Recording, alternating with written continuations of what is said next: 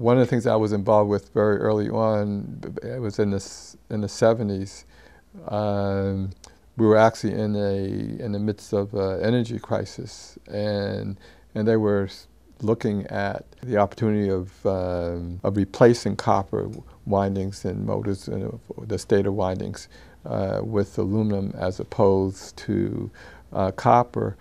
But the issue was how do you um, connect to the outside world because um, anything that's aluminum, you can't just go and plug it into a regular outlet. In, in fact, in those days, there were um, mobile home fires because of, uh, you know, they had such joints that were that were uh, me mechanical in nature, and they didn't, you know, and and uh, it was just a situation that you know that could badly lead to heating and ultimate fire. So they really wanted to end up with a metallurgical uh, well um, or joint.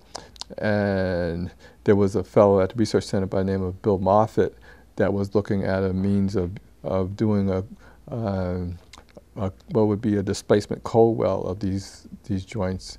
And it was very interesting because I knew of him when I was in grad school because he had written a book, um, materials related.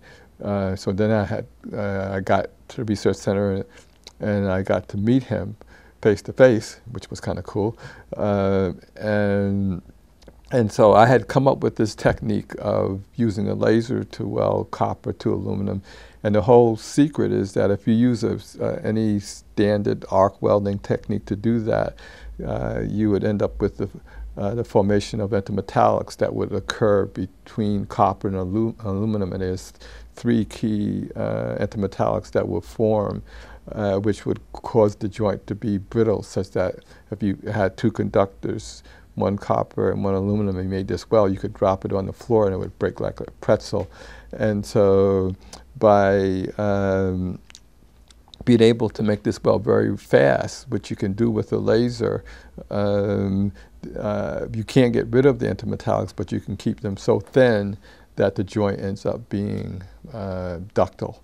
Okay, and that, uh, and that was the essence of the, um, in fact, that was my first patent. That was the essence of that. This, uh, the other aspect of this was uh, you have this good joint, so how do you qualify the joint? How do you, how do you measure the resistance of two very good conductors uh, that's been joined in this fashion? Uh, Bill Moffatt had figured out a way of doing that. That's how I met him, and uh, and he showed me how uh, he was doing it. So I leveraged his knowledge and utilized that same technique. So I was able to actually measure my joints to say, yes, indeed, my joints uh, had a certain quality.